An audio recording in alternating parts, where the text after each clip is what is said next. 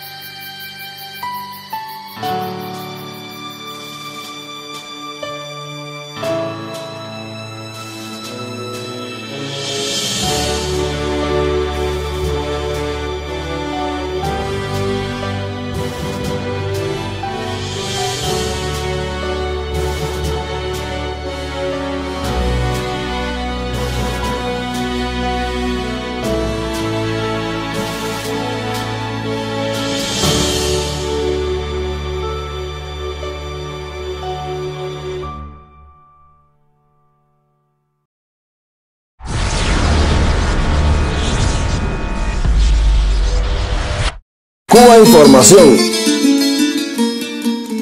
No me digan más mentiroso, no me digan más no me digan más mentiroso, no me digan El gobierno cubano tiene que ver, tuvo que ver sobre la muerte de Laura Poyán, Osvaldo eh, Payá y Harold Cepero. Y si no es así, que demuestre lo contrario. Berta Soler, representante de las llamadas Damas de Blanco, explicaba de esta manera tan gráfica el concepto de justicia que propone para Cuba. Una justicia donde no es necesario demostrar la culpabilidad del acusado, ya que es éste quien debe demostrar su inocencia. Pero no es el único concepto político del que han hecho demostración práctica los representantes de la llamada disidencia cubana durante la gira que les está llevando a varios países del mundo otro es el de la libertad de expresión. Este martes 12 de marzo, en un acto en Madrid de la citada organización Damas de Blanco, se le negaba la palabra al público asistente, impidiendo las preguntas, por ejemplo, del portavoz de las asociaciones de cubanos y cubanas en España, Luis Pérez, representante de la emigración cubana favorable a la revolución. Esperanza Aguirre, presidenta del Partido Popular de Madrid, le acusaba incluso de ser un enviado de la Embajada de Cuba. Están enviados por la Embajada y son bienvenidos. A ver si conseguimos que se democratice. El acto finalmente acababa con el desalojo a golpes de varias personas del movimiento de solidaridad con Cuba, a las que tampoco se les dio la palabra y que fueron presentadas en los medios como boicoteadores del acto. ¿Se imaginan el tratamiento informativo a esta misma escena si hubiera ocurrido en Cuba? Días antes, la bloguera cubana también disidente, Joanny Sánchez, cerraba en Burgos un evento llamado Redes Sociales para la Libertad, patrocinado curiosamente por varias multinacionales y bancos. Al acto se impidió el acceso a la periodista cubana Heidi Sánchez, a pesar de estar debidamente acreditada, reportera que días antes había sido golpeada por la policía en Madrid al cubrir las recientes protestas contra la política del gobierno del Partido Popular.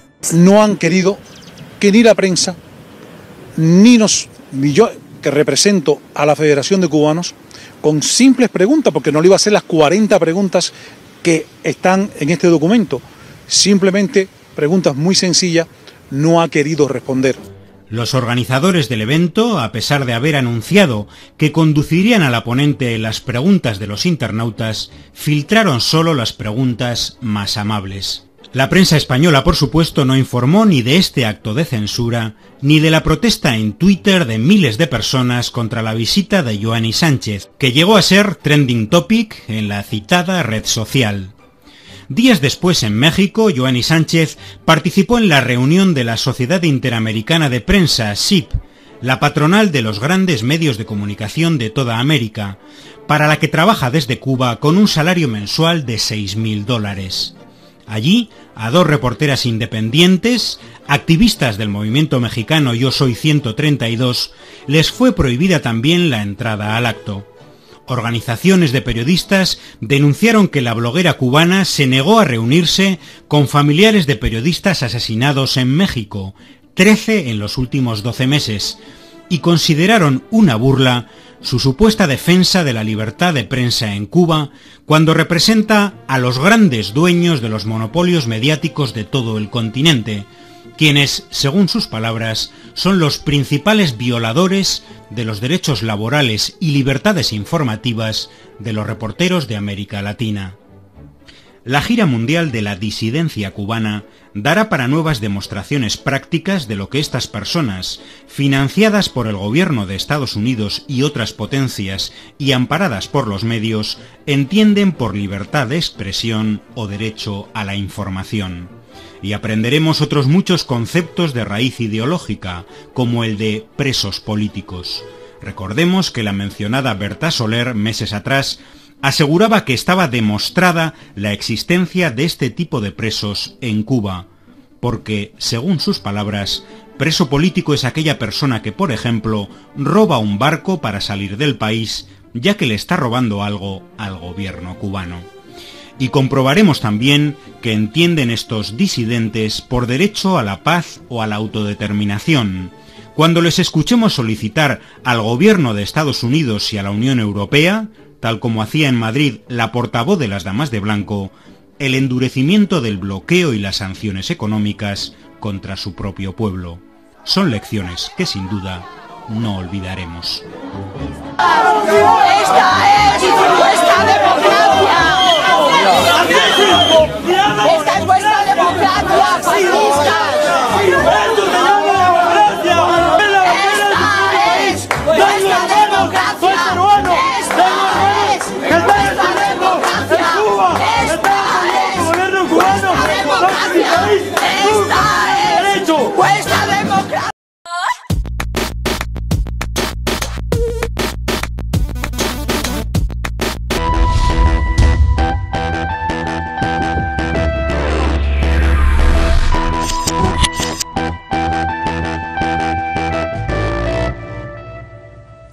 Llegamos a este bloque con una pregunta eh, sencilla y lacerante y, y preparémonos para la respuesta. ¿Hay plata?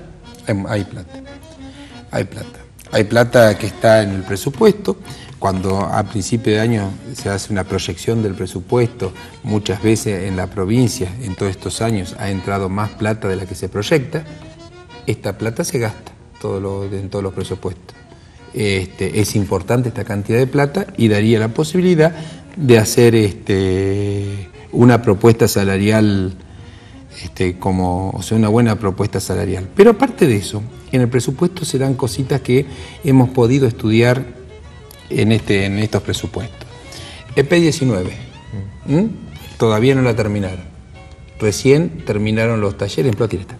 Recién terminaron los talleres, fue presupuestada en cuatro presupuestos. Cuatro, en cuatro presupuestos En aparece. cuatro ejercicios ejercicio aparece la EP19. Un jardín en la zona Z1, que está para el lado de la barda, que hoy no hay nada. Está presupuestado para este año 9 millones de pesos para un jardín en un lugar que no hay nada. Recién están haciendo este, todo lo que es eh, infraestructura. Ese jardín no se va a hacer ahí. No, no hay gente, no, no hay nada. Está. Quiere decir que el año que viene va a haber un, un jardín presupuestado con 9 millones de pesos que nuevamente se va a presupuestar seguro, o no, tal vez no, capaz que se, se presupuesta en otro lado. Ahora, ¿en qué cabeza cabe presupuestar algo que vos sabés que no lo podés hacer? Ahora, ¿qué pasa con ese dinero? ¿Dónde queda toda esa plata? ¿Está? ¿Dónde, dónde va ese, ese, ese dinero este, que está en presupuesto en escuelas, en mejoras, que vos termina el ejercicio y todavía no está, y se vuelve a hacer nuevamente otra vez? ¿Qué pasa con todo ese dinero? Y podemos preguntarnos varias cosas. Otro de los temas es cuánto dice el gobierno que gasta por cada alumno. Salen los medios locales que gasta an- anualmente 22 mil pesos por cada alumno. Claro, el padre dice, pero 22 mil pesos es mucha plata por cada alumno. Ahora, cuando nosotros hacemos un estudio de una escuela tipo, con siete cursos, con eh, más porteros de las que tienen, porque hacemos con cuatro porteros, con el director, con la gente de plástica, con el, el tema de la comida y el mantenimiento, nos da un número que es tres veces menor. En primaria. En media es mucho menor. ¿Está? ¿Cuál, ¿Dónde va la diferencia esa? ¿Cómo sacan ese número y por qué se gastó tanto por alumno cuando no te dan con el sueldo, con la luz, con el gas, con todo, te dan mucho menos? Y no sé, tendríamos que pedirle al gobierno de cómo hace para que cada alumno, alumno de Neuquén salga esto. Acá está faltando, está faltando o sobrando plata para ello, está faltando algo. Este, y no sé, hasta ahora no lo han podido explicar. En primaria ese, eh, ese 22 mil pesos Sí. se reduce. En, En media más todavía en porque media hay más cantidad de alumnos. Si bien hay más cantidad de Me profesores... imagino la, la deserción entonces. No, no, no, no. Se reduce la cantidad de plata por alumno. Claro. Eh, O sea, aparte, son, aparte de- las condiciones entonces. En la- A ver, aparte de la, ¿cómo es que se llama? De la de- de- deserción y todo, ¿no? En, si hablamos de deserción, sí, más vale. En media hay mucha más deserción que, que en primaria, porque eh, las condiciones sociales llevan a que muchos alumnos dejen, dejen la, la escuela, algunos para el, para el campo, para poder trabajar, para el campo laboral, y otros porque los padres apuestan más en mandarlo a una, a una primaria que está mucho más contenido, que una escuela media, que un profesor tiene en- en- durante la semana la cantidad de grupo, más o menos 600 alumnos, con tres horas por, por, grupo, más o menos unos 600, y eh, la contención no es la misma que le dan en primaria que le dan en media y, me- y menos en terciaria también, ¿no? Eh, el, el degranamiento es mucho más grande en las escuelas técnicas que el- en las otras escuelas porque son más años y más cantidad de materia. Bueno, hay, hay varias causas del degranamiento. Lo que sí que no se gastan 22 mil 22.000 pesos. pesos. Por, no, no, no, no se gastan 22 mil pesos por, por alumno, pero jamás. Eh, al menos que en las cuentas de eso sumen algunas otras cosas más, qué sé yo. Eh, ¿Tenés la sensación eh, que nosotros a veces incluso lo hemos transmitido acá en el programa, de que a los docentes se les exige que efectivamente tomen el mando de la futura revolución en Neuquén, y, pero que lo hagan ellos solos, yo después me sumo? Tengo todavía muy viva esa imagen de lo que fue cuando Sovich se escapa vestido de policía, que estaba rodeada eh, la, la- y no la habían, Casa de ma- no Gobierno. habían matado a un compañero. Eh, y, y era que lo hagan ellos solos, que lo resuelvan ellos, nosotros vemos.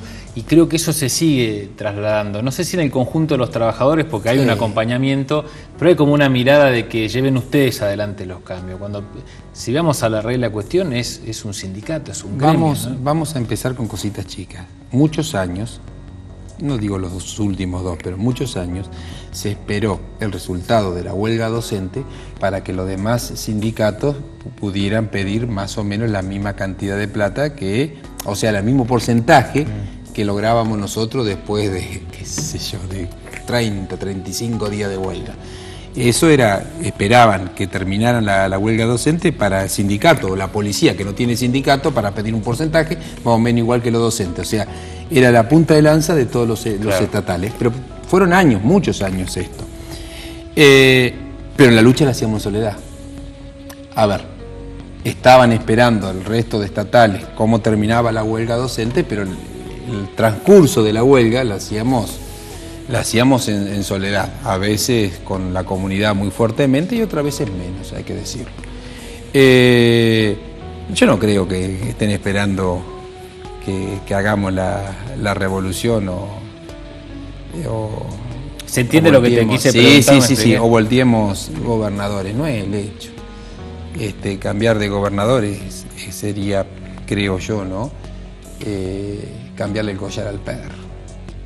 El problema creo que es mucho más de fondo. Pero bueno, eh, tal vez en la cabeza de algunos compañeros trasnochados creen en eso, pero no, no, no es así. Lo que sí el sindicato docente desde que nació ATEN hasta la fecha, 30, más de 30 años, ha sido un sindicato de lucha y se ha estructurado como un sindicato de lucha, donde las asambleas son muy importantes, donde el dirigente, no hay un dirigente que habla y todo es verticalista y todos lo siguen. No, no, no. La asamblea te va marcando los tiempos y en la asamblea vale tanto la levantada de mano hoy del secretario general del sindicato como del último docente que estaba en la asamblea, a ver si no, no entendemos. Es un sindicato que está eh, pensado para un sindicato democrático, un sindicato vuelven a la base, los, dirigentes no se mueren de dirigentes, hay mucho recambio, es un sindicato con recambio. Hoy, y lo voy a decir, eh, un secretario general que estuvo tres veces, que se bancó unas huelgas gigantescas, como es Marcelo Gallardo, si uno va a la escuela número 20, está en séptimo grado eso. No, no se entiende. ¿Me, me entendés Yo lo cuando, que te digo? Cuando tiro la pelota de, de- de esa mirada eh, un poco más dialéctica sobre eh, eh, la falta de acompañamiento a los reclamos docentes que uno ve o en la comunidad por la cuestión del pasotismo, por la cuestión del bombardeo mediático, Sí. o porque los papás se cansan de las huelgas, por lo que sea. O de los demás sindicatos. Pero también veo que, hay- que- que muchas veces hay una soledad. Yo cuando te, traía el ejemplo ese de, de cuando se rodeó Casa de Gobierno, y bueno, ¿y qué? ¿Y, y- y- y qué? ¿Y qué más vamos a hacer? Eso es lo que Somos- yo ahí pensaba, está, ¿no? por eso, sí, ya te entendí. Nosotros somos un sindicato, ¿no? Y como todo sindicato, tenemos nuestros límites. O sea, somos un, sindicato, un sindicato docente, un sindicato de que el 70% son compañeras. O sea, a ver, somos un sindicato. Que podemos nosotros luchar para mejorar la educación pública para todos los trabajadores, los hijos de los trabajadores, sí, es un poco más amplio que, que el problema sindical, que sería solamente el de dinero, sueldo. el sueldo, ¿no? Que podemos nosotros discutir el tema de los, del instituto para todos los estatales que tenemos instituto, sí, la defensa del instituto estamos discutiendo para todos. Que apoyamos los movimientos sociales, sí, estuvimos eh, todo el verano con el tema del gatillo fácil, ¿no? O estamos cada vez que los hospitales nos, están- no- nos llaman, nosotros vamos porque los hijos, los trabajadores y los trabajadores van a los hospitales. Pero somos el sindicato docente, un sindicato. ¿Está? Con conciencia de clase, sí, pero un sindicato. Cada más que un sindicato. Eh, quería en esta parte final eh, un, un detalle del nivel de agresividad que hay siempre contra eh, los maestros desde el, el latifundio mediático eh, y esa sensibilidad también por la cantidad de, de- de maestras, ¿verdad? El 70% Se- de... eh, estamos más o menos, creo que es un poco más del 70, pero más o menos siempre se dijo 70% de maestra y un 30% de cuando se llama desde los medios a golpear maestros, digamos. Hablan de pegar. eh, Un solo, te digo un caso, un ejemplo. 2006, el piquete que había en Añelo, cuando fueron eh, al- algunos delegados del petróleo, en ese piquete había 12 maestras. Mujeres, 12 mujeres. ¿Eh? Cuando dicen de ir a, golpear, habla de golpear, en ese momento había 12 mujeres. Estamos, que fueron, la, la sacaron de la ruta, ta, ta, ta, pero eran 12 mujeres, no había hombres. Eh, hace poco tiempo en Neuquén se vivió una situación en la cual los taxistas abiertamente puteaban a las maestras, ¿no? Cuando uno empieza a hacer el retroceso, cómo se surge ese comportamiento, claro, se asusaba eh, eh, eh, ese, es- ese nivel de, de racismo en muchos casos, este, o una mirada también muy simplona sobre un conflicto mucho más profundo y que, bueno, vuelvan a trabajar. Y lo se que- impulsan esa- esa- esos comportamientos cavernarios. Lo que pasa que cuando vos tenés un sindicato que no lucha solamente por sueldo, sino que luchó y paró la ley federal en la provincia, en la única provincia que se paró con luchas, porque hubo dos que se pararon desde arriba para abajo, que se paró con lucha y gracias a eso no hubo un genocidio educativo, como dice la provincia de Buenos Aires, que hubo en la provincia de Buenos Aires, está cuando vos tenés un sindicato que sale a acompañar el tema en contra del gatillo fácil que nos mata a los mismos alumnos nuestros en la, en la zona oeste, cuando vos tenés un, sindi- un sindicato que se moviliza se moviliza por el, el hospital público, ¿está? Entonces, eh, los medios y sectores del gobierno dicen estos son el enemigo número uno y creo que acá somos, sin querernos, ¿no? Pero somos la verdadera oposición a este gobierno. Eh, nosotros nos despedimos hasta la semana que viene por este canal con más Cartago. Muchas gracias Alejandro por, Gracias por la visita y bueno, y un tema que siempre nos atraviesa que es este, la defensa de lo público. Eh, también podría agregarle de lo popular, pero en este caso vamos a quedarnos con un término más económico.